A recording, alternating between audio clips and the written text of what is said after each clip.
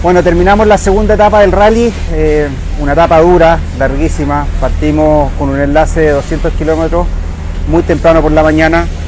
Luego la especial casi de 350 kilómetros, en donde hubo un mix de terreno entre pistas rápidas, paralelas, con sectores de, mucha piedra, navegación por las dunas y algunos ríos secos, en donde prácticamente fue toda la especial de alta velocidad.